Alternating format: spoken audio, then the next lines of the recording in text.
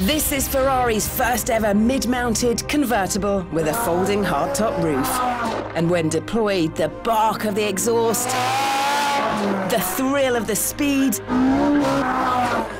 the wide open mouths of passers-by should all seem louder, faster, closer.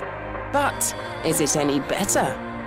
Well, I have three major issues. The first, the roof won't open on the move, depriving predatory peacocks of displaying their feathers at will.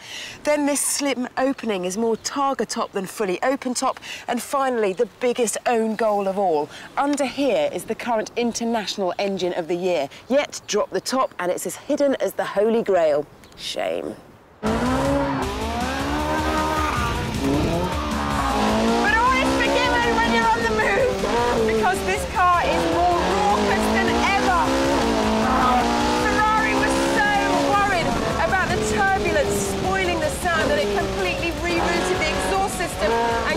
Silencers.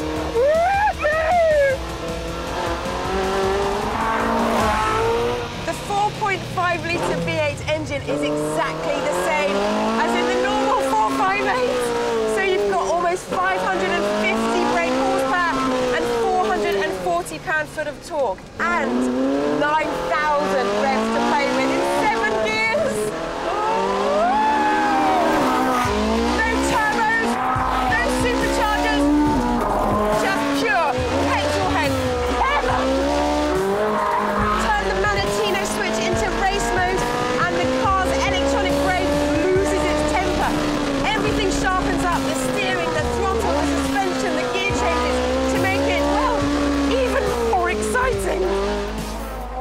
Earlier in the year, Ferrari upgraded the normal 458 to have an even more aggressive race mode than before. But they haven't given the Spider the same upgrade. Is that missed? No! 0 to 62 remains unchanged from the 458 Italia at 3.4 seconds. But I have some bad news. Instead of doing 202 miles an hour, this car is slower by four miles an hour. It's phenomenally quick, but has the roof destabilised the handling? When you chop a car's top off, the body becomes less rigid. Also, the aluminium hood here makes this car 50 kilograms heavier than the 458 Italia.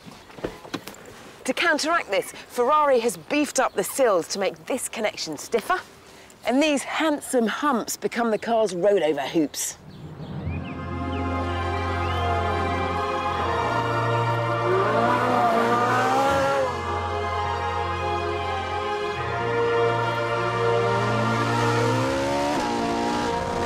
Actually almost moved to tears. This car is so amazing.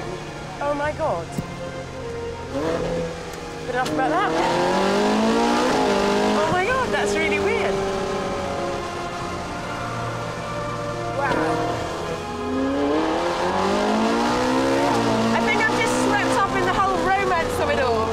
A red Ferrari in Italy on Mountain Road. I cannot fault this car's handling. The turning is so superb nós.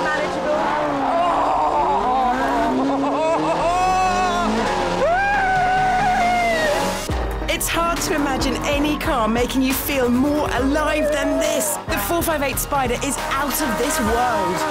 Of course, there's a price to pay, and it's a shade under £200,000, which is 25 grand more expensive than the Italia. But is it worth it? Well, if you want the most spine-tingling, exciting way to enjoy a Ferrari, then no motor deserves your money more.